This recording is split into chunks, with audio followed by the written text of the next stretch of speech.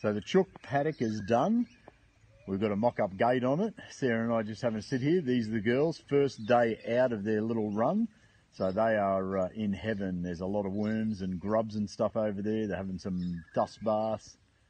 Awesome day. We're going to finish the fence a little bit later for the uh, goats and we're rocking and rolling.